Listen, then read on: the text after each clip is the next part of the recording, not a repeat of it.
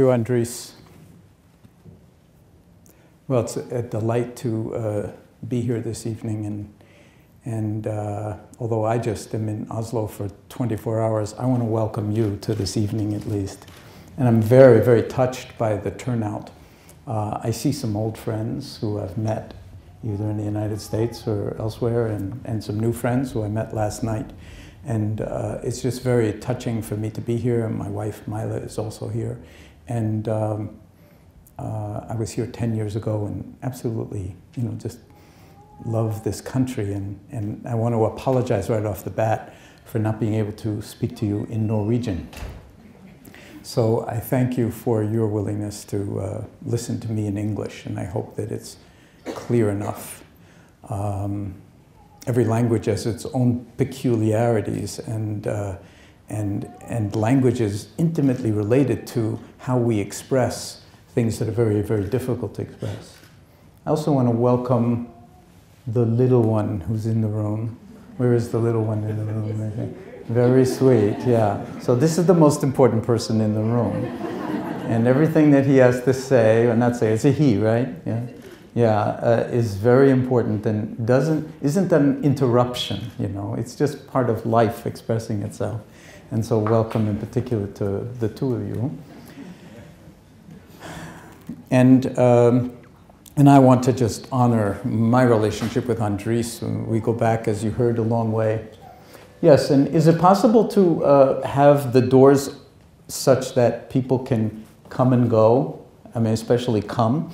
Uh, without someone having to get up every time to let them in, that would be nice. And, you know, and if that's possible, so uh, to just say that the reason that I am here in, uh, in Oslo really has to do with supporting people who have uh, interest in mindfulness, and in particular the people who are uh, doing the work of mindfulness-based stress reduction, MBSR, here.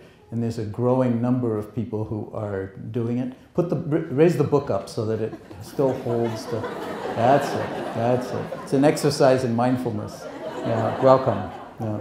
You want to give the talk? Yeah love to. Yeah, you're welcome to. So, um, and I want to thank Erlvin uh, Annenberg for being, uh, you know, willing to publish books on mindfulness in Norwegian, and, and I really uh, thank you for the relationship. So let's take a moment and just reflect. Uh, this is uh, Wednesday, right? Wednesday, at the end of probably a long day for most of you. And here you are, um, you've come to a talk on mindfulness. So I'd like you to reflect for a moment why you're here. I mean, you could be eating, you could be doing any number of other things, and yet you've devoted some time to a talk on, on mindfulness. So maybe take a moment and just ask yourself why you're here. And just let that sink in for a moment, whatever comes. And if you don't know why you're here, that's fine too. That's a very advanced answer.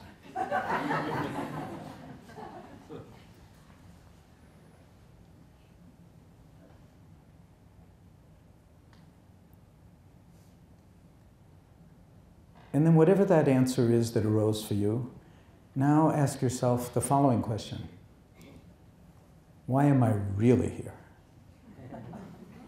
And just reflect a little bit about that.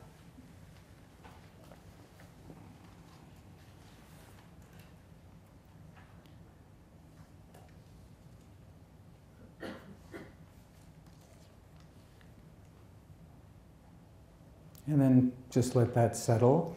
and ask yourself the next question Why am I really, really here?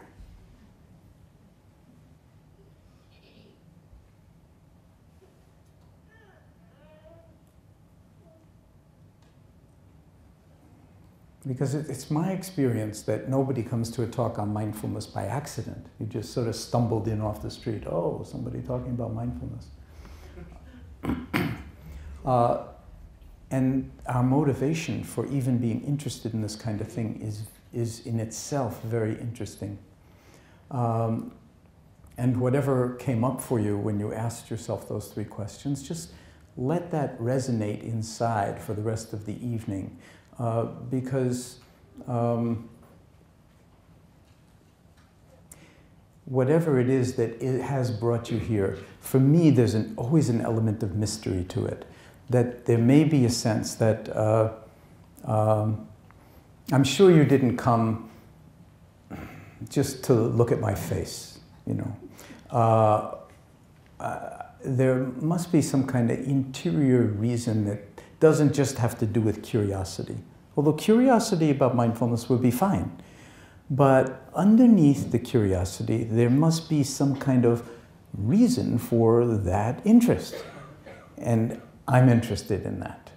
Uh, we won't go into it tonight. Mostly tonight, I'm going to just be talking about the work that we've been doing for the past 32 years now at the University of Massachusetts Medical Center. Uh, and that it, and it's a work that we call mindfulness-based stress reduction. And I saw that the title of this talk has something to do with like ancient wisdom for modern stress and stress reduction. And whenever we play the ancient wisdom violin, you know, everybody goes, oh, yes, that's what we need is some ancient wisdom. Uh, from the East, preferably, you know, uh, ancient wisdom that's really important because we don't know enough in the West and we need to sort of go to the magical East for answers or some special technique or whatever. And uh, it's really much more interesting than that, mindfulness. This is sort of, if there's any ancient wisdom, it, it, it lies inside our DNA, all of us, wherever we happen to inhabit the planet. And if there's any ancient wisdom, it lies inside our hearts. And it's something that, in a sense, we may already know, that we don't know that we know, or that we may be yearning for, longing for, uh, that may help us feel more in touch, or more complete, or more whole. And from the outside, we can look completely whole completely well, completely healthy, completely at peace. But inwardly, a lot of the time, it may feel as if there's something missing. And even if Andres called this the wealthiest country in the world, I didn't know that until yesterday. But even, say, in the wealthiest country in the world, there may be little things that, or something, whatever it is, sometimes enormous things, but that actually threaten our sense of well being and our sense of being comfortable in our own skin and in our own lives, being who we are. Now, in America, everybody wants to be somebody else. They don't want to be who they are. It's a celebrity intoxicated culture, and we're always interested in other people and how they're living, and we actually ignore or disregard the only dimension of our being that we could have any kind of wise relationship to. So if we're always interested in out there, somebody else knows or has the answer or the answer to life or whatever it is, even if it's somebody dressed up in robes with a shaved head that comes from the East, uh, in a sense, it's a certain way in which we're disregarding our own wholeness. And the beauty of wholeness, which is the root meaning of the word health, healthy, uh, healing, and holy, H O L Y, is this sense that we may already be integrated, we may already be whole. And we're ignoring or disregarding something really fundamental. So the wisdom is not in the East, and it's not in the Dalai Lama, and it's not in this master or that master. The wisdom is actually inside of us to begin with. And the science is actually showing that now, that uh, in the past 10 or 15 years, from the scientific point of view, we've begun to realize that the brain is an organ of interfacing with experience. And it is continually reshaping itself on the basis of our experiences. Not just reshaping its firing patterns, but actually rebuilding its architecture, changing relative size and thickness of different regions in uh, the neocortex and in the limbic system and in all the sorts of extremely important areas for us to actually live our lives effectively, to make decisions, to remember anything, to um, learn anything.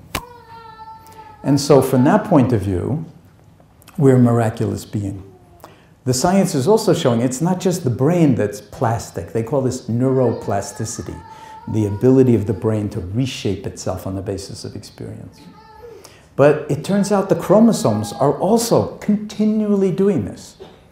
It used to be thought that when you're born, you get a certain uh, inheritance, and that's your fate. You know, whatever the genes are that you got, that's your fate. And that is true to a degree, but now there's another science called the science of epigenetics. And what that's saying is, yes, we do inherit the chromosomes from our mothers and fathers in a you know, random sort of fashion. But how those chromosomes get expressed, how the genes on those chromosomes get expressed, that is influenced by how you eat, by how you deal with stress, by all sorts of other things. So that means, that's very good news because it means that not only is the brain plastic, but also our metabolic uh, well being is, is, is changeable on the basis of how we decide to be in relationship to our lives. Exercise, diet, uh, and regulating stress. Learning how to, learning something about tuning the mind cultivating intimacy with our own minds.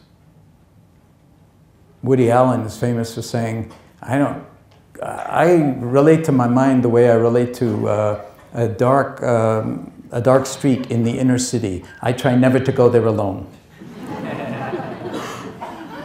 it's scary territory.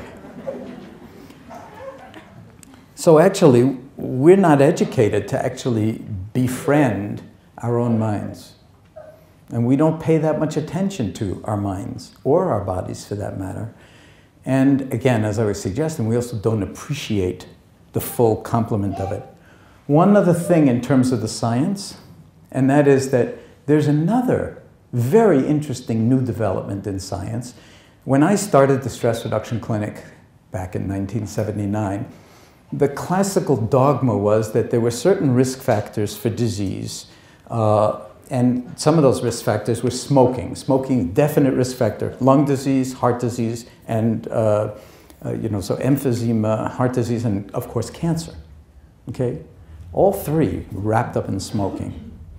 Then there's a high-fat animal fat diet, not so good. These are risk factors. And then they would make, and others, uh, risk factors like, uh, you know, sedentary lifestyle, uh, uh, high blood pressure, but then they would say, but stress is not a bona fide risk factor. Well, now they've shown, and, uh, and uh, Liz Blackburn won the Nobel Prize for this in 2008, that stress actually degrades the, the uh, tips of our chromosomes that are called telomeres. They're repeat subunits of DNA, DNA at the end of all of our chromosomes. And they're like those, those plastic things on the ends of our shoelaces. And every time a cell divides, a little bit of that gets broken off. And when the, the cell divides a certain number of times, that's it. They, they don't, there's no more. And stress accelerates the breaking off of those telomeres. the breaking down of the telomeres. We call it the degrading of the telomeres. But there's an enzyme that can actually lengthen them again. And that enzyme is called telomerase. And Liz Blackburn won the Nobel Prize for it. And it turns out that stress accelerates the degradation, and uh, learning how to deal with stress actually lengthens the telomeres. So that means that if you've ever said to yourself, my God, that experience has taken years off my life, it's actually literally true. I mean, and they calculated that with under certain conditions, with the people they were studying who had very high stress um, lives, uh, that um, it resulted in seven years worth of life being lost on the telomeres, on average. And, uh, but if you learn how to handle the stress, then actually you, you are uh, extending your own life. So these three new sciences are making it uh, incredibly uh, rich, uh, an incredibly rich time to actually uh, understand more about what's going on with meditation. And there's a huge amount of research that's actually, actually being done now on all of these kinds of things. I'm not going to talk so much about the results of that research tonight, uh, but I'm going to try to actually speak to you more personally. And I would also like to uh, have time for dialogue and as well to practice some together. Would that be all right with you if we actually practice some together so we know what we're talking about? Okay, because you can always like, you know, go online and find out all this information, but I feel like the time that we have together here is, is precious and, uh, and I'd like to actually make the maximum use of it. Meanwhile, you please keep in mind what really, really, really, really, really, really brought you here. and we'll see by the end of the evening, or maybe by the end of the week, or by the end of the year, because these things are very alive and it's not like just one night. I'm not here to entertain you, but in some way we might interact that would be uh, slightly changing, maybe in some tiny little way, your relationship to your own life and your own body and your own mind and your own heart. And if that's the case, the tiniest little shifts, they turn out to not be so tiny. They get amplified in ways that are astonishing and remarkable. And that's what we see in the stress reduction clinic. When we invite people with chronic diseases, with chronic pain, with chronic medical conditions of all kinds, many different kinds of cancer, heart disease, you name it, we will see it in the stress reduction clinic. And as Andres said, it's not to cure them. We make a big distinction between curing and healing.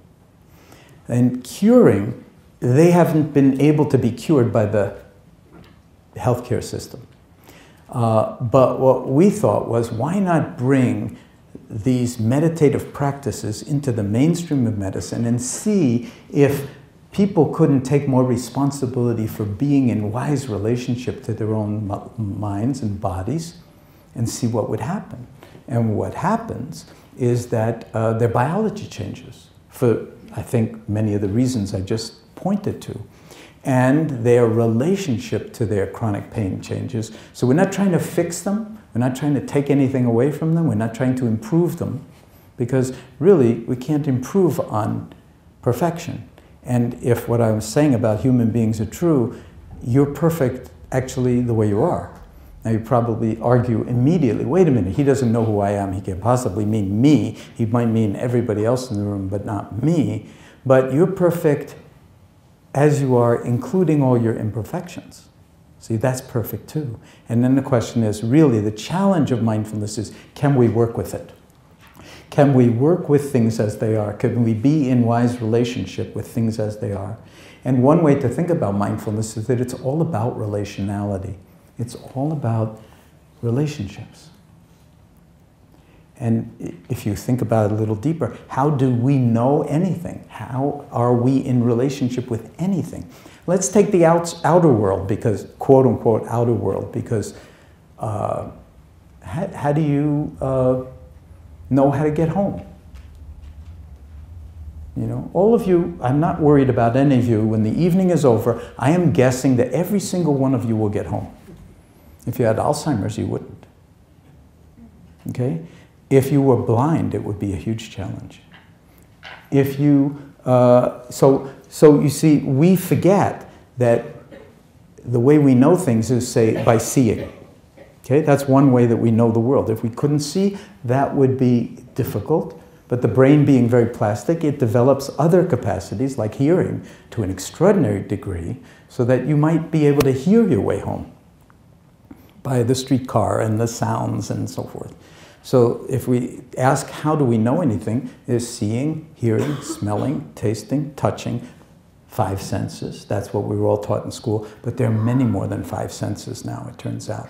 As the, the neuroscience is showing, there's a sense of, like for instance, I know where my hand is right now. This hand, I cannot see this hand, but I know exactly where it is, and I know it's not here. And I know it's not here. I still can't see it, but, and I know that how many fingers I have up or down. How do I know that? It's a sense. It's not exactly touch. It's called proprioception. The brain does this. And it's remarkable. And it can also actually find the mouth and put something right in the mouth and not miss it. It takes a while for this to develop, and in babies, sometimes the food goes everywhere. But by the time we're two or something like that, at least, mostly it goes in the mouth. That's extraordinary. So if there's any way in which you think, so that's the sense called proprioception. Then you run into somebody outside in the street and they say, you haven't seen them for a while, and they say, hi, how are you? And you say, fine. How do you know? How do you know that you're fine? Well, it could be you just don't want to say how you're really doing to that person, so you just say, fine. But how do you know how you're feeling at all? That's another sense. It's called interoception. It's a way that we have of basically reading the biology of the internal organs instantly. Instantly. Interoception. So, how do we know anything? By being in touch. Now, the Buddhists would say, we have to bring in a little ancient wisdom from the East. The Buddhists would say there is another sense that we ignore, and that is awareness itself. Without awareness, you can see and not see. Without awareness, things could be coming to your ears and you don't hear. Maybe you've had that experience. Somebody is telling you something, but you're so focused you don't hear it. But you know, or it's they're telling you something you don't want to hear. Geniuses are tuning it out. But maybe you're in a room with this many people and somebody at that upper corner mentions your name. Oh, they're speaking about me. And all of a sudden your hearing becomes very good. Why? Because like we're so ego invested. Ah, me. What could be more interesting subject than that? I think I'll go and straighten them out on how, how important I am or how much they don't understand the story of me. I'll tell them my story of me. And sometimes we get very invested in the story of me. But the point is that awareness can actually be a way of sensing the world, and especially the inner world. So there's no inner and outer. There's simply all these capacities for touching the world and being touched by the world. In English, we say coming to our senses it means to wake up. It doesn't just mean to feel, see, hear, taste, touch. Coming to our senses means wake up.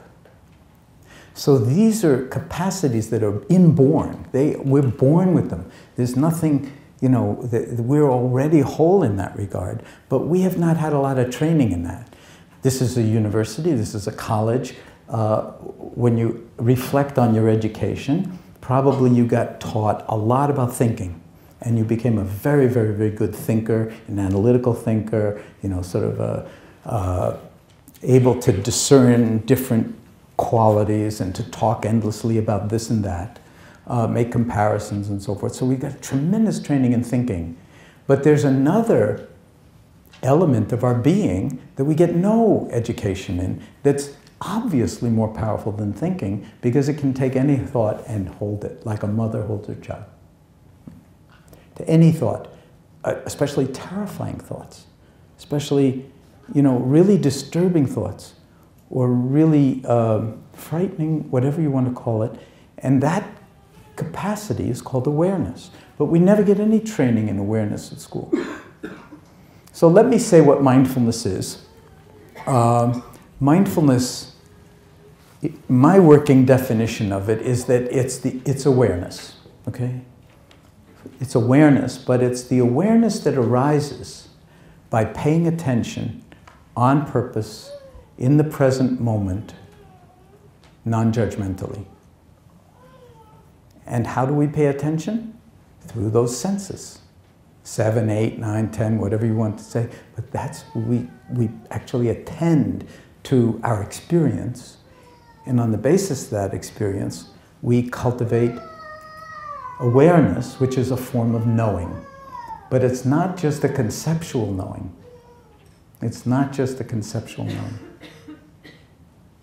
It's a knowing that uh, you don't have to think about how to get home when you go home tonight. It's more intuitive.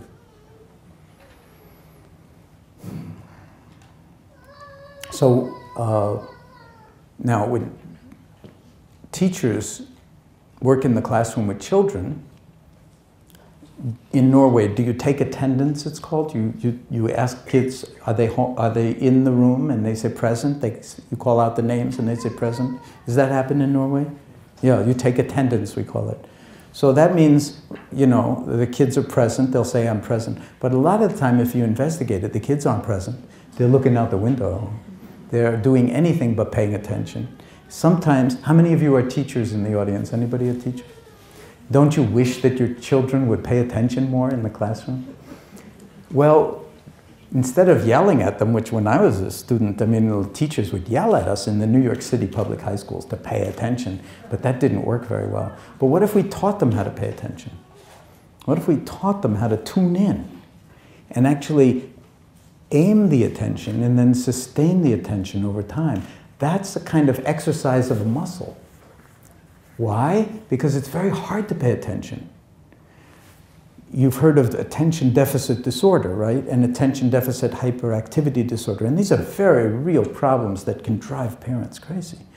But I also like to point out that from the meditative tradition's point of view, the entire society, and I'm talking about the US, I can't make any judgments about Norway having been here for 24 hours, but from the point of view of the US, the, from the perspective of the meditative traditions, the entire society has attention deficit hyperactivity disorder. Big time. And if you start to pay attention to it, the mind is all over the place. It's all over the place. That's the natural, what you could call, if you're into computers, the default state of the mind is to be here, there, hmm, hmm, hmm, depending on what um, is most interesting. Now, do you, I see an iPhone on the desk. Will I mess it up if I just hold it? So now you see people walking through, down the street. No one ever used to do this. There was this like this would have been considered like, you know, but now, you know, people are like not looking where they're going because they're staring to this. We're continually scanning the world for something more interesting than this oh, maybe somebody emailed me, or maybe somebody's texting me, or did I get some new piece of information? And we're so interested in what we might be missing that we're actually missing this moment. And if you think about it, if you stop and think about it for a moment, this moment is the only moment any of us ever have. We're not alive tomorrow. We're alive now. We're not alive yesterday or three years from today in the past or three years from today in the future. We're only alive now. But if we're continually distracting ourselves, then we're not actually in intimate connection with the only moment we're alive in. Just think for a moment what that does to the next moment. If you're really mindless, we could call that mindless, just completely out of touch and very much involved in thinking, but even di disruptive, discordant thinking, how's that going to shape the next moment? And especially if something surprising happens, but it catches you unawares, and let's say it's stressful, or let's say it's threatening, one might actually contract when the most important thing would be not to contract. For instance, there are people who come with a diagnosis of heart disease where they say, My doctor told me that the next time I get angry may be my last moment. So I've come here to learn how to, and I'm a very angry person. Happens. We can't interview the people who die of sudden cardiac death, you know, and just say, what were you thinking just before you dropped dead? but a lot of the time, I think if we could, what we would find is like some thought went through their mind, some thought, some tiny little nothing. Maybe it has to do with taxes, or maybe it has to do with, you know, some bad feeling between two people that you care about, or an insult that you received, or what money worries, or some tiny little thought, and the heart just goes into spasm of one kind or another, coronary artery spasm, whatever it is, sudden cardiac death or electrical dead. So, what about learning how to regulate our anxiety? What, how about learning how to regulate our anger? How to, learning how to regulate our emotions? and our thoughts so that we actually become friends with them. We're not trying to fix them. We're not trying to change them. We're not trying to make them go away.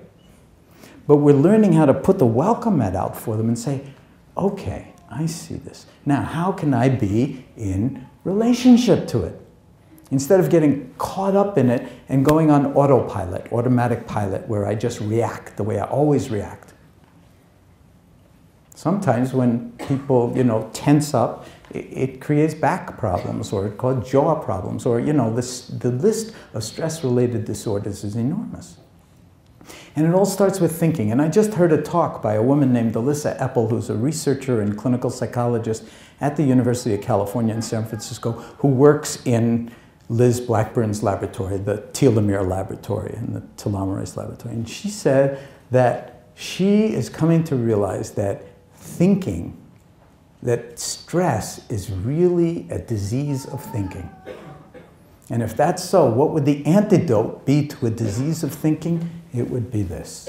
It's not fixing the thinking. It would not be cognitive therapy, which means changing one thought for a better thought. Because you may not know what the better thought is. You may think you know what the better thought is, but you may not actually know. In fact, there's now a whole science and a whole therapy called mindfulness-based cognitive therapy that's actually about not substituting one thought for another, but actually recognizing thoughts as they arrive in the moment and just seeing them as like clouds going through the sky. Even if they're thoughts that, you know, that generate depression, what's called depressive rumination.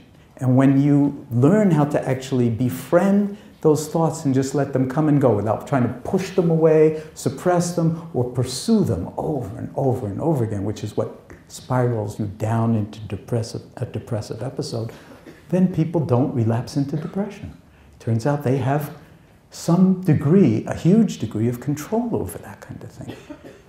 And it's, it's astonishing for them when they discover that because many of these people have been suffering for 20, 30, 40 years and taking all sorts of drugs, and the drugs are only helpful to a degree, and sometimes a very small degree. And here we have this internal power lying inside us for self-regulation. And, and, it all starts with attention. So, you know, how would you start to connect with yourself? Well, one way is I could call myself up. Let's see, I have this upside down. Dial my number and say, hello, Jon, are you present? Are you there? like a kid in the class. And I say, yes, I'm present, when I'm really not. You know, uh, are you really in touch? Are you present? But we don't need the iPhone to do that. We have a much more, you might think this is fantastic technology, by the way.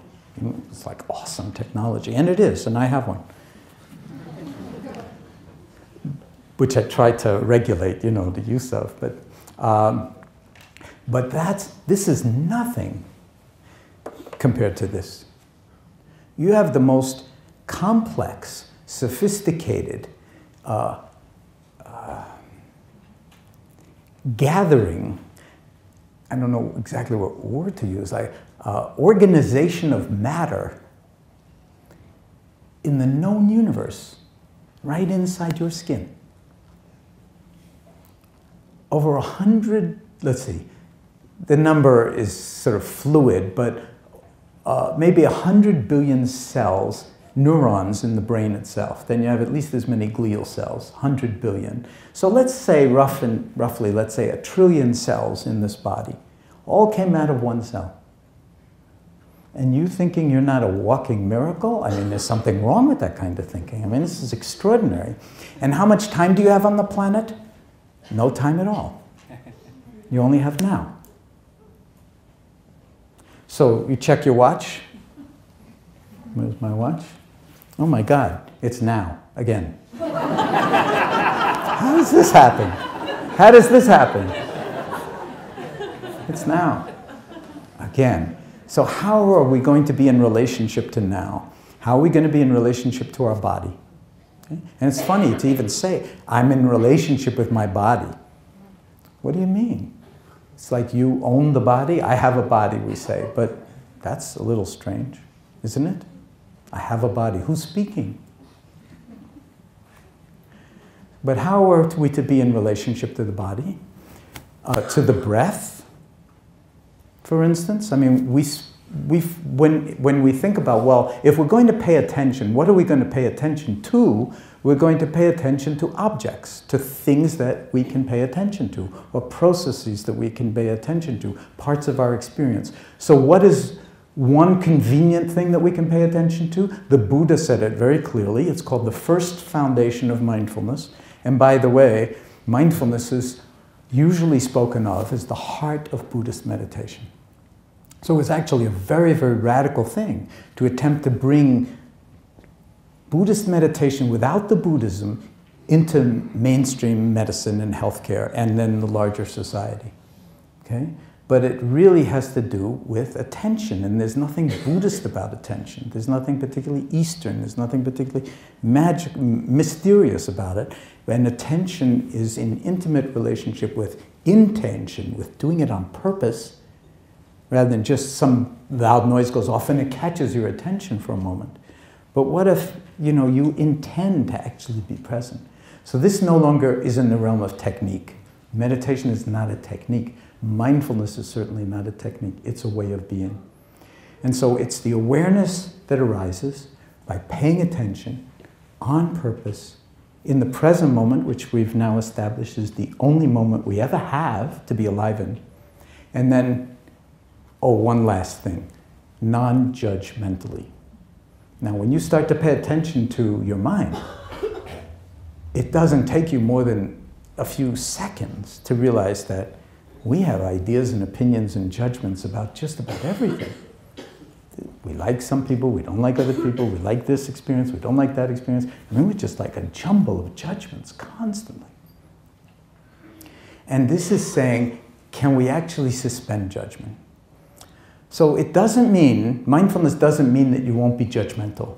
Mindfulness really means that you'll become more aware of how judgmental you are.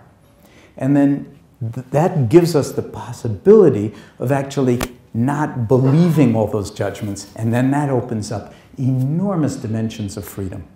If you don't believe your own propaganda, then actually, you know, there's a lot of space for being in wiser relationship to other people, to nature, to your own body, to your own thoughts, to your own emotions. Do you hear what I'm saying? And this is something where it's no longer a technique, it's a way of being. It's a way of being alive. It's a way of being awake. It's a way of being in wise, welcome, wise relationship to, uh, you didn't miss anything. Uh, true, I mean, you really didn't miss anything. Because what we're talking about is not a doing.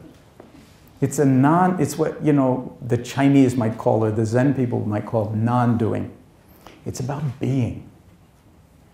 And yet we're so busy doing, doing, doing all the time, and thinking is a big part of the doing, and judging is a big part of the doing, that there's very little time to just drop into being. And then let the doing, because I'm not advocating not doing anything. I'm not advocating laziness or I'm not advocating just getting stupid. By the way, non judgmental doesn't mean stupid. Well, if I give up my judgments, then I might walk in front of a trolley car. I'm crossing the street and I just like I'm being non-judgmental, so I just like don't make any decisions. No, it's not like you're not making decisions. It's that there's a difference between judging, which is kind of a very, very rapid black or white, like, don't like, this is good, that's bad kind of assessment, which is like a hair trigger. It's so habitual that it actually is imprisoning.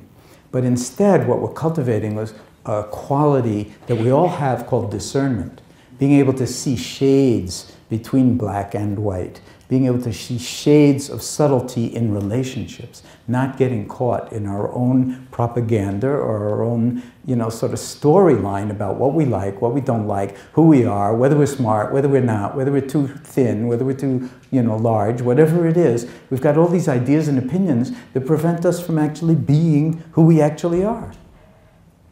So who we actually are is much bigger than we think we are. And mindfulness is what is often spoken of as a liberative practice. It liberates us from the small mindedness that we are in so much a habit of getting caught in. It's almost like a prison, but we forget about that. And then when we're not in the now, when we're not present, where are we? You start to pay attention to what's on your mind. A lot of it, and this is why it's so hard to practice mindfulness. You sit down to practice, let me just, and we're going to do some in a minute.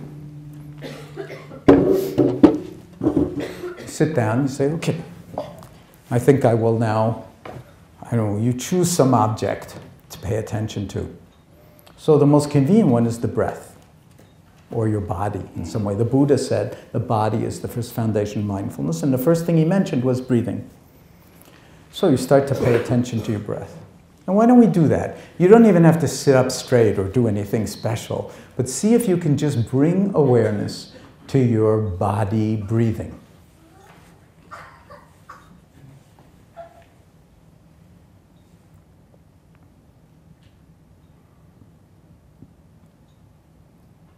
And you'll notice you don't even have to close your eyes.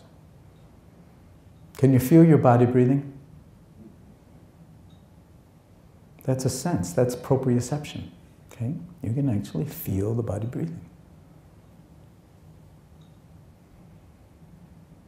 And noticing that you don't have to now take charge of the breath. Oh, now we're paying attention to breathe. I think I'll reg I'll maybe I'm breathing a little shallowly. Oh, judging. Okay. I think I need to breathe more deeply, another judgment. So then you start and I need to be in control, so I'll start controlling my breath. No, just the body breathes perfectly well without your getting involved. In fact, you, you know, it's silly to call it my breathing. Because if it was up to you to breathe, you would have died a long time ago. You know, whoops, got distracted, forgot, dead, dead.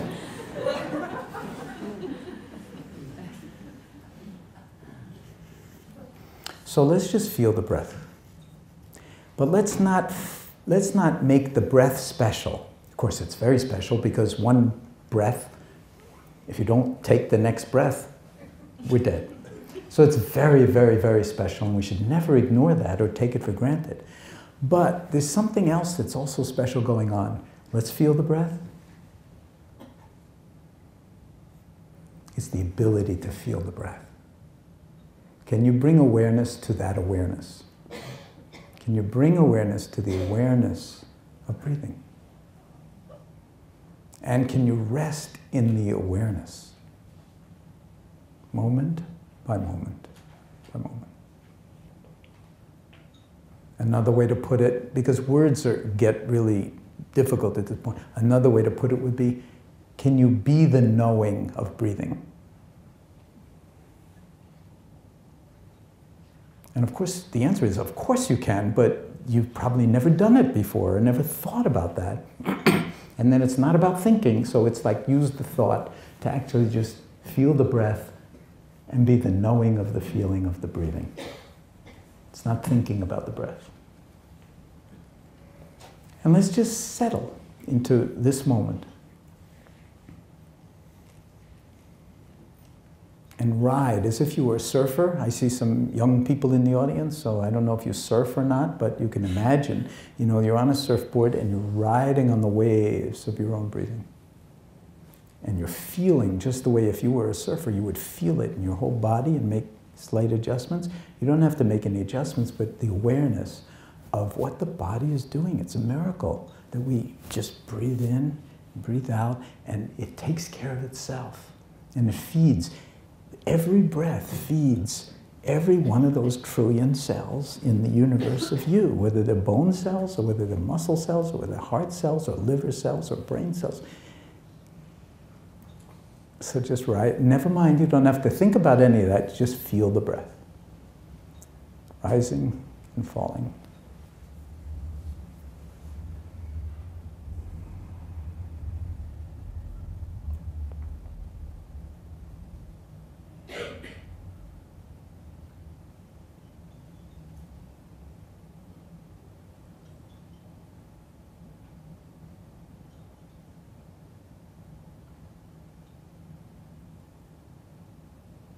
And can you be the knowing that awareness already is? In this case, the knowing of breathing. And by knowing, I don't mean thinking, I mean feeling, sensing.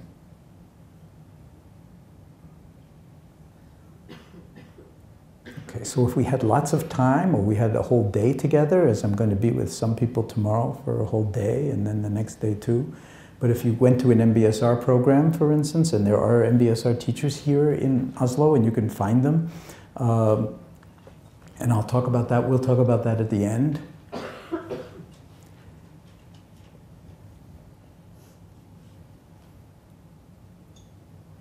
We'd extend this out for maybe 20 minutes, maybe an hour. And after a while, the mind would just say, I've had enough of this stupidity. I don't want one more, one more breath, I'm going to scream. Because, because another mind state will arise, and that mind state is called boredom. Do you know any boredom? Have you ever had experience with boredom? Boredom is a very, very interesting mind state. And as soon as we get simple and quiet, boredom comes up. We crave entertainment. We're all addic- addicts. We're all drug addicts. We want to be, we're addicted to distraction. We're addicted to self distraction. When you bring awareness to that addiction, then you can modulate it, you can regulate it, you can dance with it in different ways. So just raise your hands if you had any kind of experience that, that felt like you, you could actually be aware of the awareness of breathing. Raise your hands if you could do that. Just if you found that you could do it. Raise your hands. Anybody? Raise them up high so I can feel it. Okay, that looks like most people in the room. And probably even if you're not raising your hand, you did, but it's so unfamiliar that you say, I don't even know what he's talking about.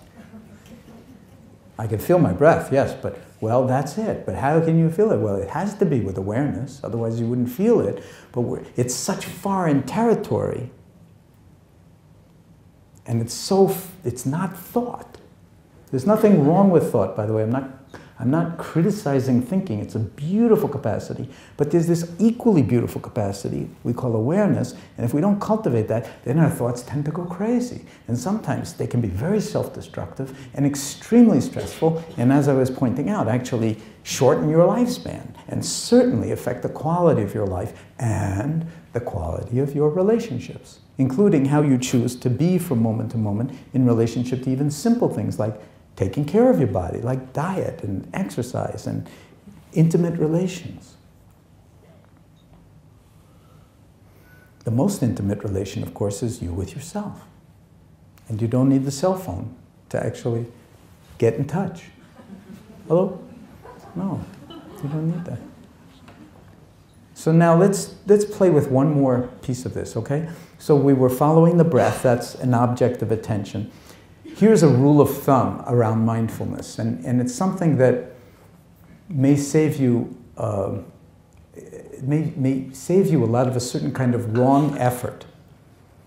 When we focus on the breath, it's never about the breath. It's about the awareness. If we were, say, focusing on hearing, for instance, on the sense of hearing, now, if we were outside in nature, we'd probably think it was much more interesting to focus on hearing than in here, especially if I stop talking. But actually, can you hear the sound of silence?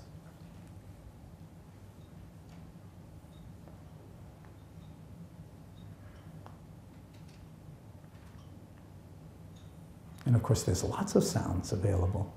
And then we might judge them and we might name them, but I'm not talking about judging or naming, just hearing what's here. That's another capacity and being aware of it. Otherwise, these sounds have been going on all the time we've been in the room, but we tune them out.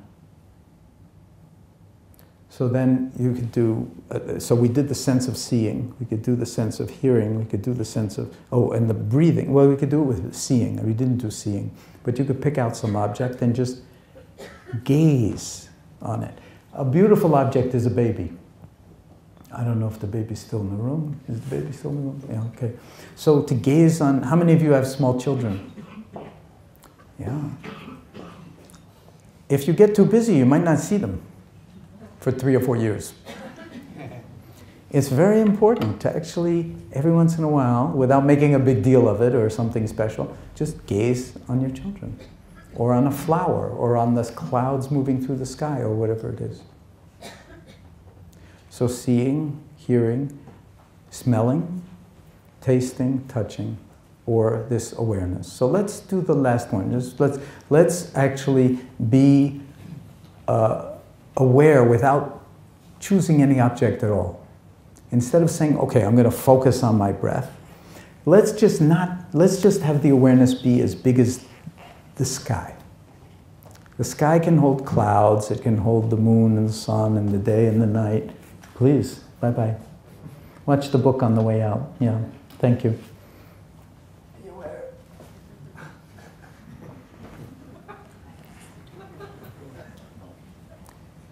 So let's let the mind be so spacious that there's no center to it and no periphery to the awareness, and we just sit here.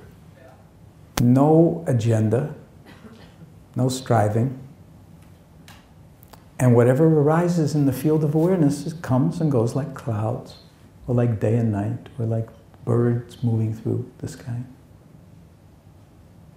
Sounds, thoughts, emotions, just letting them come and go. And if you like, you can imagine that you're actually a mountain, that your body is like a mountain sitting. And everything that's occurring in the field of awareness is like the weather just storms or a gentle breeze or day or night or whatever it is. It's just the weather and the seasons unfolding. And all there is is awareness. And if you like, if it's more vivid, if you close your eyes, you're welcome to do that. But sometimes that itself becomes really distracting. And just letting it all unfold in awareness. Almost like an empty mirror reflecting whatever comes before it, but instead of a mirror, it's, it's like a field of awareness. Boundless limitless field of awareness, which is what awareness really is.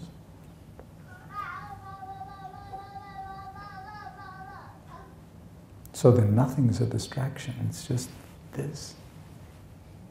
Just this. We don't even name it. Or we notice that we do name it so quickly. Oh, baby crying.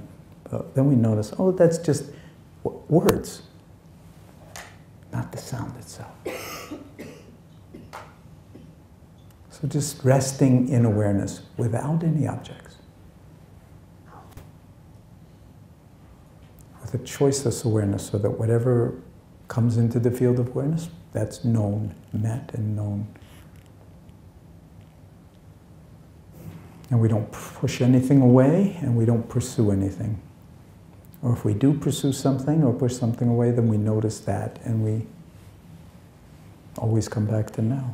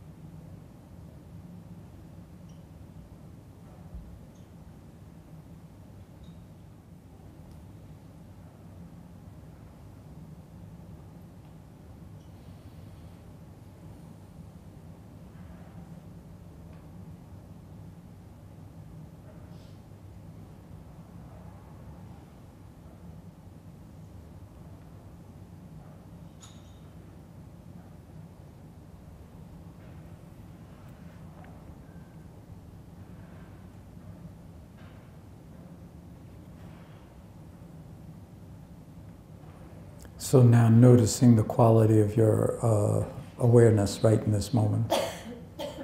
Is it, in fact, spacious and just allowing everything and anything to unfold in your experience in awareness? Or have you gotten distracted and carried off uh, someplace else in, in, by the thought stream?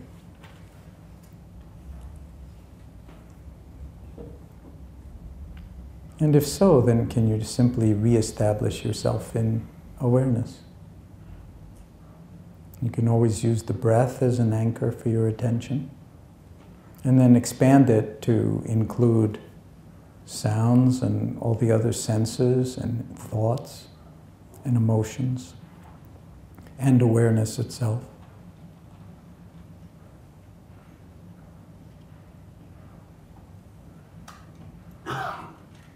Each time the mind wanders, we can always notice what's on our minds and then make a choice as to how we will rest in awareness in relationship to what's unfolding.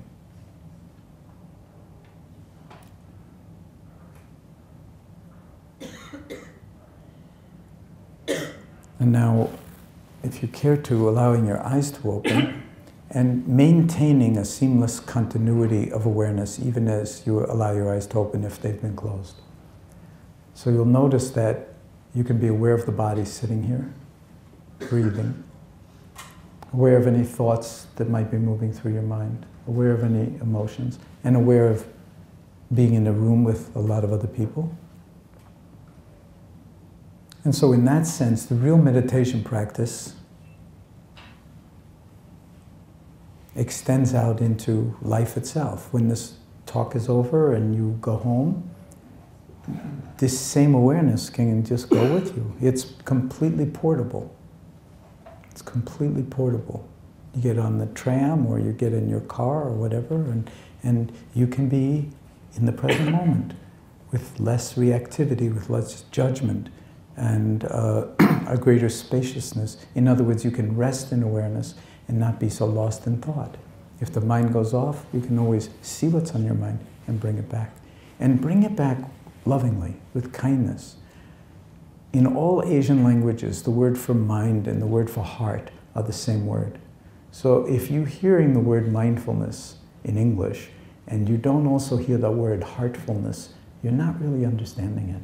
It's not some cold clinical orientation to sort of distance yourself it's an embrace of awareness of whatever your experience is, as if it really mattered, and ultimately as if this moment, which is your life, really mattered. And when you begin to shift your default mode from one of mindlessness and constant, what one Microsoft researcher named Linda Stone called continuous partial attention. And she said that's our default mode. We live continually in continuous partial attention. That means we're never fully present for anything. And what if we were able to, and this is what I think mindfulness actually does when we cultivate it, when we practice it, when we exercise the muscle, slowly something starts to grow. And it's a lot more interesting than a bicep.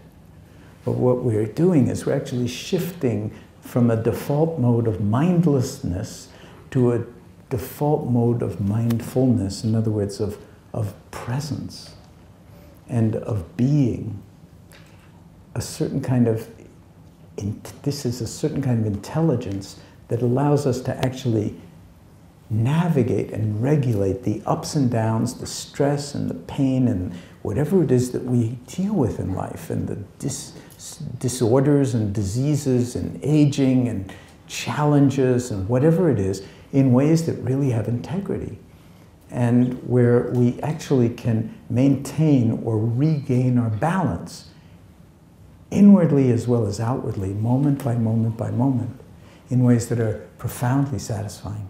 And that now all the science that I just briefly mentioned at the beginning is showing really transforms us on a biological level, and on a psychological level, and on a heart level, or what you might call a spiritual level, whatever the words are that you want to speak, that's not what's most important. What's most important is the embodied experience of living your life, your life, not somebody else's life, as if it was beautiful and if it, as if it really mattered.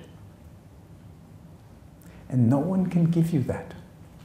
No one can give you that. No amount of material wealth or possessions or even good relationships with other people can, can by itself influence your relationship with yourself.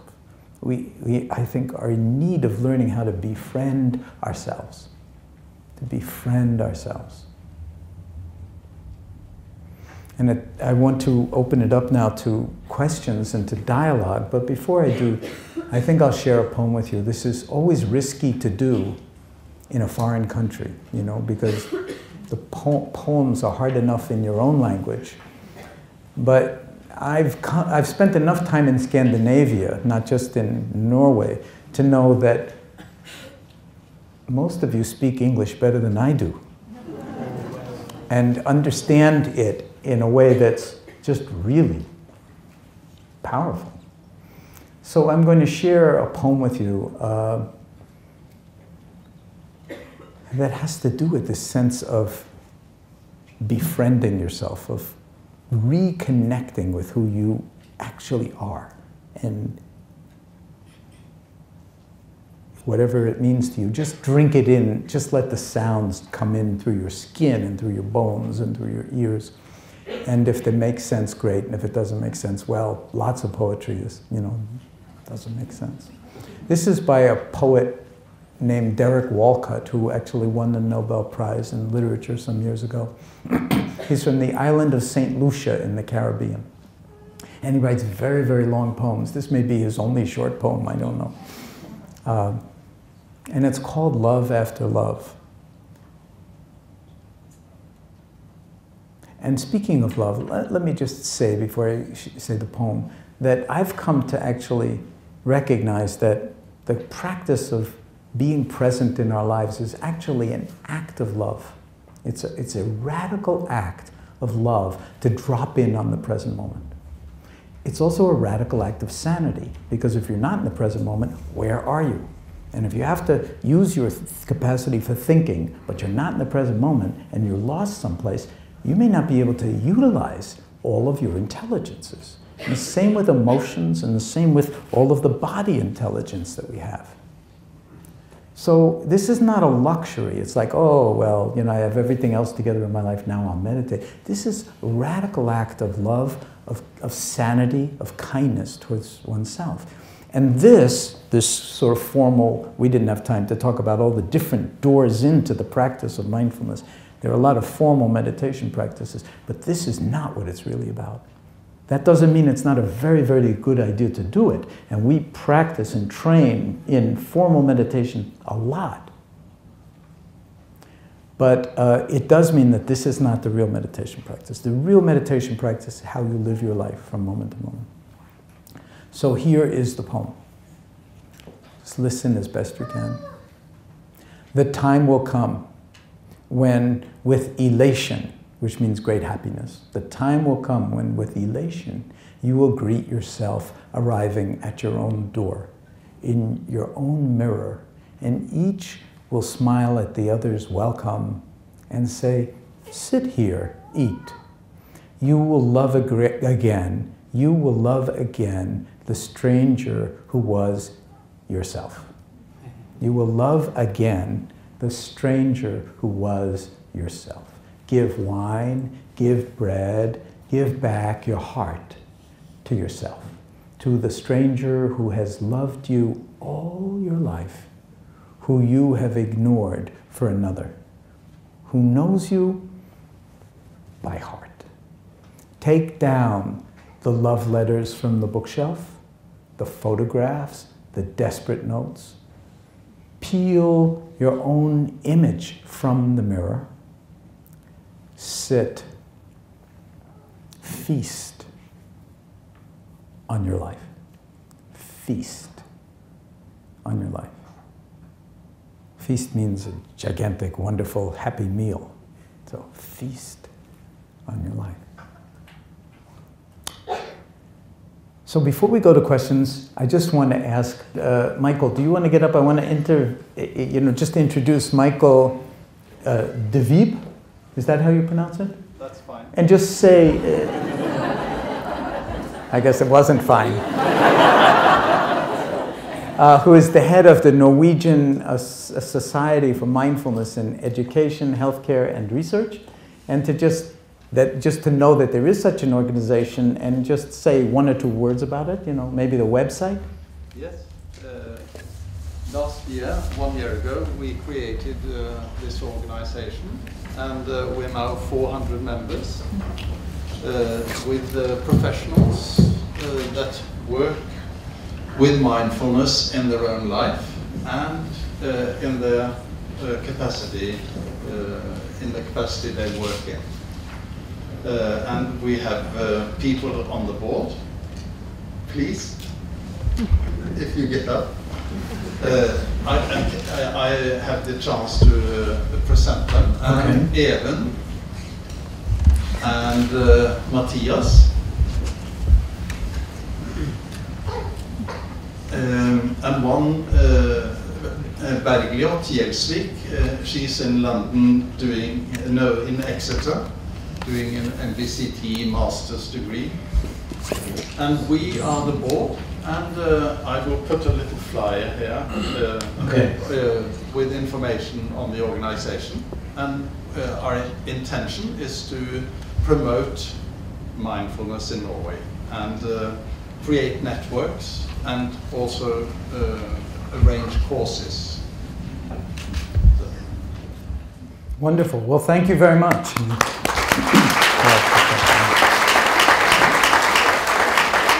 Uh, the reason the reason I did that is because I, I, I, want you to know that if anything that I've said, uh, and you probably got the idea that I could go on for another three or four hours. I mean, it's no problem at all.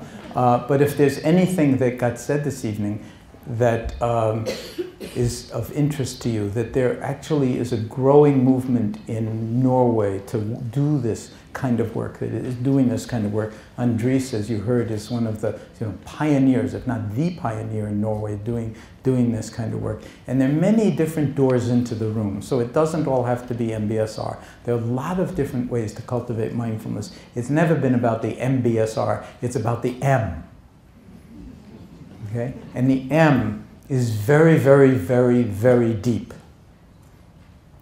Uh, it's not called the heart of Buddhist meditation for nothing.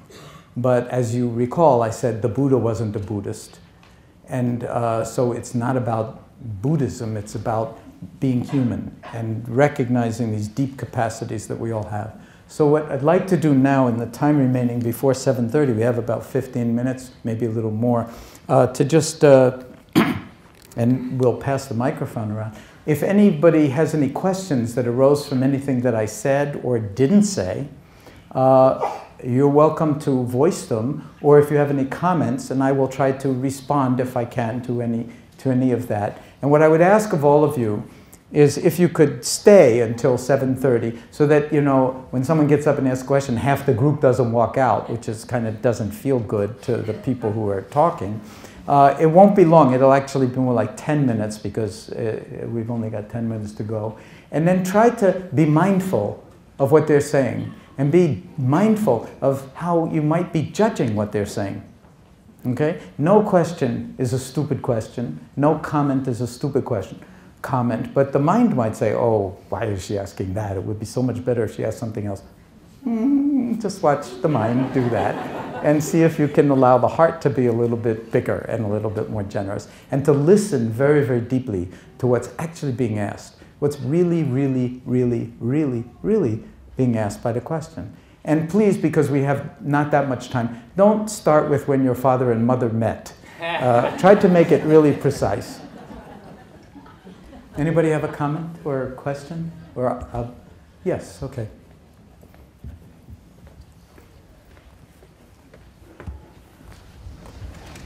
Hi, um, I'm a translator and I'm planning to translate a book on mindfulness into Norwegian. Uh, so I was very interested that you started off by acknowledging the difference between talking about something in your own language and a foreign language. Um, and it's very common when people talk about mindfulness in Norwegian to use the English word mindfulness. Yes. Um, I was wondering if you had any thoughts about the advantages and disadvantages of using the English word as opposed to kind of native Norwegian. I do. Actually, I do have some thoughts, and, and I'm sure that a lot of other people in the, you hold on to it for now, also have thoughts about that. I know because we've been talking about that with Andries Kroese and and uh, Ylvin. Uh, I think that unless there's a really fabulous word in Norwegian for mindfulness, that it's better to use the English word uh, because um, it's it's a very subtle um, communication. And mindfulness is not a concept. It's a, as I was suggesting, it's a way of being, and it's a kind of embodied way of being. So when you're trying to bring something that's perhaps very new and transformative into a new culture, it's, it may be helpful to actually give it a, a, a word that people don't know so that, that you can build a kind of deep understanding about it. Uh, and so um, for instance, in French, there's no word for mindfulness, and they have to put five or six words together to make a word for mindfulness. They call it attention de la pleine conscience. And, and the same thing is true in, um, in Spanish, that there's no word for mindfulness. In Italian, there's a very beautiful word for mindfulness, consapevolezza. So, but there's a bigger problem. It's not just translating the word mindfulness in order to translate anything that has to do with mindfulness, you have to live it from the inside. Otherwise, you can get all the words right and miss the meaning completely. And it's got level after level after level of subtlety. So I'm hoping that you actually have your own mindfulness practice and meditation practice because when you read, let's say you're translating from English into Norwegian, so you read something that has a certain kind of meaning intonation, it's using words to try to touch something in people that goes beyond words. You can't just take the words and translate them and hope for that. It's like translating poetry. You have to understand what the intention is. And someone who doesn't practice mindfulness, and, and, and if it's a book about MBSR, understand MBSR from the inside, there's no possible way that they can do that and come out with a good translation that will have that effect on the reader. So uh, thank you for asking that question. We could talk about that for an hour because it's very, very interesting how you use words to go into the heart beyond words. And, uh, and skillful translators are, you know, really um, do that with great artistry. So thank you. Is that a satisfying enough answer for now, given? Yes. Okay. Now, was there another hand right here? Yeah. Uh, I'm uh, very fascinated by this uh, word acceptance. Mm. And you're, you're speaking earlier about uh, people coming to your clinic and really accepting that they are good as they are, that I'm good as I am. And uh, having practiced mindfulness. I wouldn't say good, but okay. you're as okay, you're okay, you're whole was the word yeah. I used. You're whole as you are. You're complete as you are. Yeah, that because that make introduces a nuance because at least so far, I tend to think that when I look with mindfulness from now backwards, I accept it. This is how I have come to be. Yes. And into, into towards the future, there is an intention direction where I intend to become even more mindful of not asking too long questions, for instance. Yeah. So, can you say something about the, uh, in a sense, to nuance a bit that radical acceptance? Well, uh, the, the, only thing that I can really say about it, and thank you for that question, it's very beautiful, is that um, what acceptance really means is recognizing how things actually are in relationship to, well, you could say everything else, but at least in relationship to what's most important. Now, to not accept that or to not see it is just uh, unconscious. And a lot of the time we're really unconscious. But acceptance doesn't mean for somebody who, say, has uh, you know, a serious medical problem with a lot of pain, that you have to accept your pain. Do you know what I'm saying? People may not want to accept their pain, and nobody's saying you must accept your pain. That's just going to make more pain. I mean, it's you know, and more aggravation. But what acceptance really means is um, is recognizing that this is how it is now, okay, and finding some way to be in wise relationship to it, to not struggle with it. But it doesn't mean becoming a passive victim. It doesn't mean passive resignation. I surrender to my pain. But it means, no, but can I be in some kind of relationship with the pain? Most of the time, if you're in a lot of pain, the impulse is to go like this turn away. Turn away, block it out, whatever is required. So people don't think, especially if you are a chronic pain condition, to actually turn towards it, to actually put out the welcome mat and say, okay, as long as you're here, let's have a conversation. Let's feel each other, so to speak. Let's see about how the relationship might be. And when you start to do that, I mean, this was extraordinary for me to see in chronic pain patients, that they all of a sudden found that there was room to be in relationship with experience that before all they wanted to do was run away, cut it out, or shut down completely or kill themselves. And now all of a sudden there's room. As soon as there's room, that's acceptance. Okay? And then will it grow over time? Who knows? But we'll take it moment by moment, and as a rule, it does tend to grow over time. But you can't tell someone else to accept anything. You know, it's like we have to come to that ourselves. Uh, and so the practice actually, in very, in increasingly subtle ways, and the languaging of the practice actually makes that something of an adventure. And then people are willing to do things that ordinarily they would never be willing to, or look at things that ordinarily they wouldn't want to pay attention to. And that is the, I said that there, I made a distinction between curing and healing. So curing is to make it the way it used to be. That's usually not possible. There are very few cures in medicine. Healing, in my terminology, is a coming to terms with things as they are. Coming to terms is another way of, in English, saying acceptance, but it's more rich. So it's a coming to terms. It's like a little bit of a negotiation. You know, I didn't want it to be this way. I didn't sign up for my life to be like this, but it is like this. So how can I find a way to be in wiser and more kind to myself, loving relationship to this moment? And when you do that, things change. And doctors are often astonished by how much people will change in eight weeks of MBSR. And I can remember many doctors saying to me, you saying to uh, the patients who would then tell me, you changed more in eight weeks in MBSR than you changed in eight years of treatment with me. And they don't understand how's that possible? Well, it's possible because their patients are miraculous beings. They're 100 trillion cells worth of you know, the most organized matter in the known universe.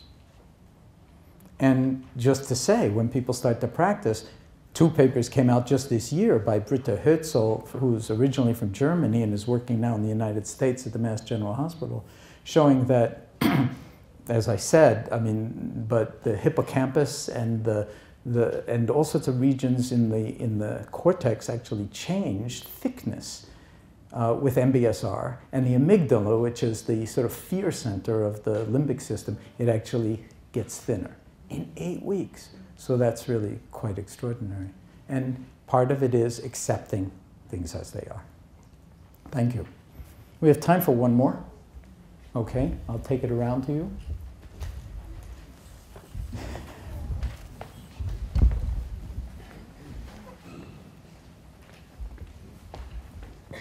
I'm just going right by the camera. Okay. Jon, my question is uh, how do you regard the spiritual dimension being present in your work with mindfulness? Mm. Can I ask you a question in return? Sure. Okay, what do you mean by the word spiritual?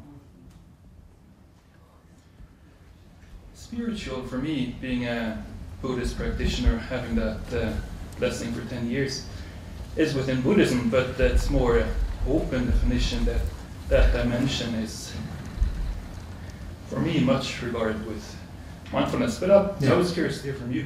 Yeah, well, I don't think it's avoidable. I mean, if you see uh, the look on a child's face and you really see it, would you call that a spiritual experience or not? Uh, miracle unfolding. Okay, so miracle unfolding, you're willing to call that a spiritual experience. Okay, what about a flower? What about hearing a bird? You see where I'm going. What about giving birth to that baby? Uh, either all experiences potentially that rich, that miraculous, or no experience can be. I try to avoid the word spiritual because people have different ideas about spiritual, different sort of ideologies around spiritual, and my spiritual is more spiritual than your spiritual. Uh, in a certain way, and my meditation practice or my lama is better than your lama, and you know it can go on endlessly. So what what I try to do is emphasize the authenticity of the experience. And then when people want to put a name on it, like spiritual, fine. But what we're talking about is the full dimensionality of being human. And so my definition of spiritual, and I, I try not to use the word spiritual, is what it means, whatever it means, to be really human. And of course, you use the word dimension. So, yes, there are lots of dimensions to our experience. And when we include all of them, they're here in every moment. There's never a moment in my experience that's not potentially rich in that kind of dimensionality if you are paying attention. If you're not paying attention, then it's just one more philosophy, one more propaganda around spiritual. And uh, it creates differences and barriers between people instead of that kind of direct connection, in my view. Also, when you're working in medicine, in the mainstream of medicine, and 30 years ago or more, trying to bring these kinds of esoteric Buddhist foreign practices into the mainstream of molecular and uh, modern medicine, uh, to talk about spirituality is not even wise because then people will roll their eyeballs and think you're some kind of lunatic. Um, whereas if you talk about attention and awareness and compassion, those are the foundations of me- medicine, those are foundations of science. And then insight, another foundation of science. And then, you know, science itself is profoundly spiritual. When you have an insight into the nature of reality or the world, it's like, you know, Einstein called it a cosmic religious experience. So the answer to your question is yes.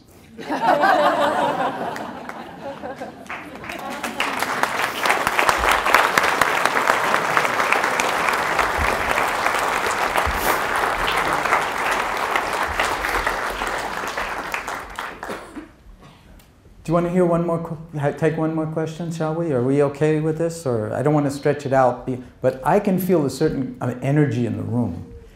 And I don't want to, like, we can't stretch it out forever. But if there's another question that we'd like to ask itself? yes, okay. Hold on one second. And then, did you raise your hand? Who said that? A lady first. Okay, no, of course, but were you the one that spoke up? Okay, so you'll be the last one. We'll have, we'll have five instead of three. I have a very simple question. Yes. Is there any such thing as an interrelational mindfulness? We've been, uh, been talking about only individual experience. And I was looking at the mother and the baby, and you mentioned it earlier. Yeah. And that's very fundamental. It's all interrelational. And yes, and Yeah. you just said that, but we, I work with children and families. Yeah. Children who have serious problems and their families. Yeah. And I'm also thinking about the cultural aspects that sometimes also determine what acceptance is, what non-acceptance is, what norms are, Beautiful. what values are. And I would have loved to hear you say something about some of these issues. Mm. Thank you so much for a wonderful presentation. Thank you.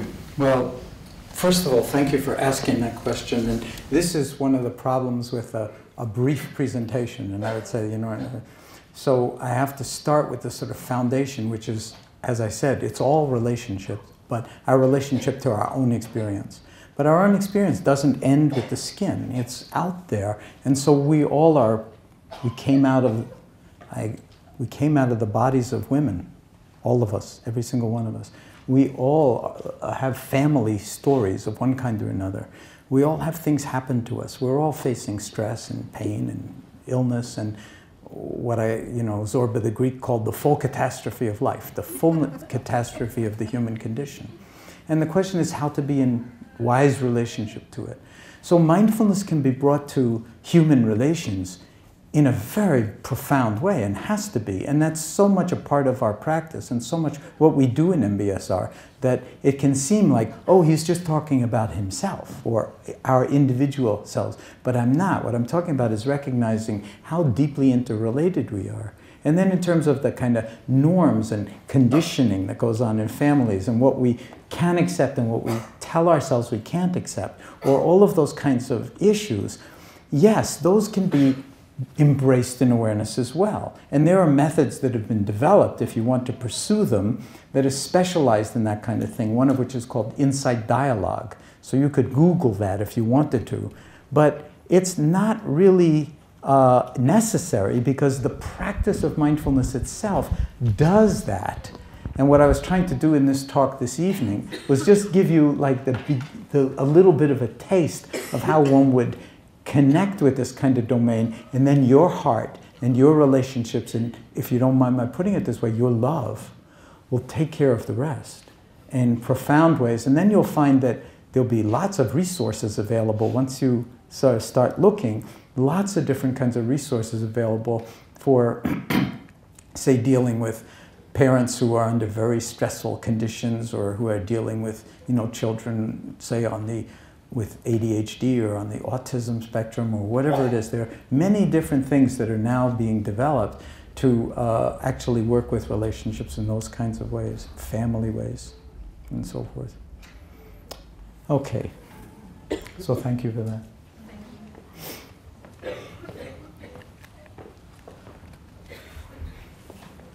Thank you. My name is Robin Wallen you had a wonderful, you had many, many nice uh, statements. And one of them is as follows Mindfulness is not a technique, it is a way of being. In my world, it, uh, life is a lot about personal development, to live a worthwhile uh, It's something to do with living a worthwhile life, meaningful life. Yes. Personal development is part of that. Could you please link mindfulness to the topic of uh, inner, uh, inner dialogue within oneself? You know, I believe in people's development through inner dialogue. Self-talk. Self-talk, yeah. Right. And if you can link that up to the mindfulness. Oh yeah. Okay. I can. I can do it shorthand. I, it won't take. Uh, I, I, could. I could also talk for a long time about that, but. Uh, That's up to you.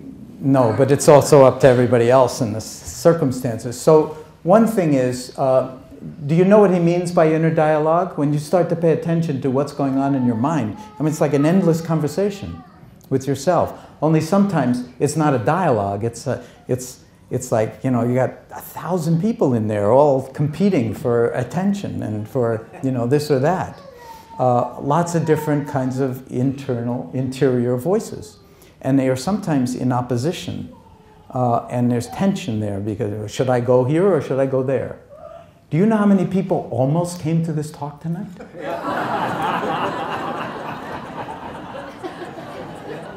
So when we bring awareness to the present moment, when we bring awareness to the present moment, we actually uh, recognize that there's a lot of time this interior push and pull and conversations and commentary and I like this and I don't like that. And it's almost like uh, if you're watching a football game and the, with the sound off all of a sudden you can see the football game because the commentators are just talking endlessly about what's going on in the game. But you're listening to them, you're not actually in the game. When you shut off the sound, then you're actually watching the game. So it's the same with the mind. It's this endless stream. And I use the word propaganda several times in the talk. It's not that it's unhealthy to have a narrative. And of course, we need to have narratives, who we are and where we're going. But then it's a big mistake to actually believe it. Because usually our narrative is too small compared to who we really are. And that was what I was trying to point at. And that's what the poem is saying that you will love again the stranger who was yourself, the one you pushed away, so to speak, and never connected with. And then you can reclaim that relationship Well, it's here now, all the time, in the body, in the breath, in the heart, in the mind, and in the wider world. So, just to say one more thing, and that is that people trained in MBSR at the University of Toronto, a paper published in 2007, uh, was shown that if you uh, that there's a certain region of the brain in the midline of the cortex, the frontal cortex, that's called the default mode. And it is, uh, it is what they think is firing, what's going on when you're not doing anything. You, you put people in the scanner and you say, don't do anything. Don't do anything. And then this network lights up. And it's the network of self distraction and endless conversation with oneself. And it's called the default mode. Another word for it is called the narrative network. It's like narration, okay? And it's endless.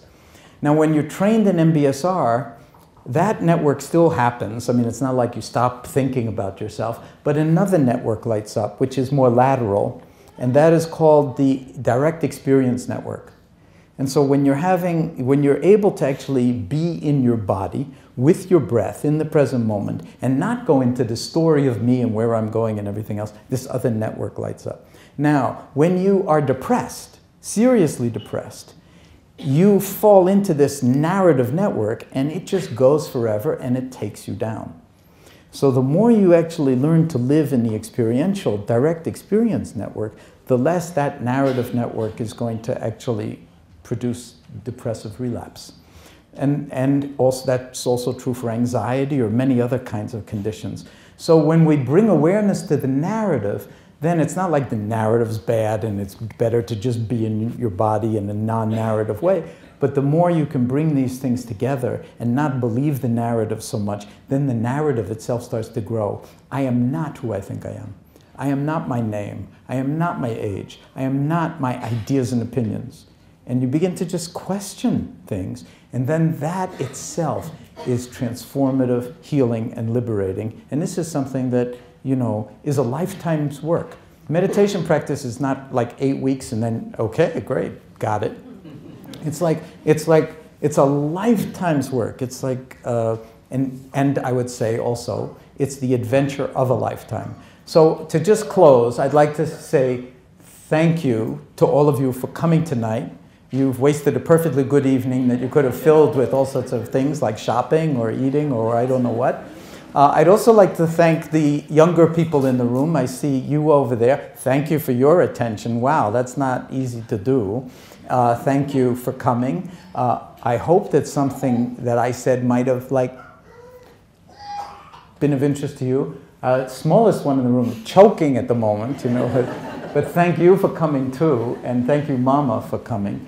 And so just a deep thank you uh, to all of you for your attention and for the energy that, that I can actually feel. And I hope that if anything that I have said drops into your heart and resonates with why you really, really, really, really, really came here in the first place, that you will pay some attention to that and then nurture it in ways that might be uh, uh, of service in this ongoing adventure we call life.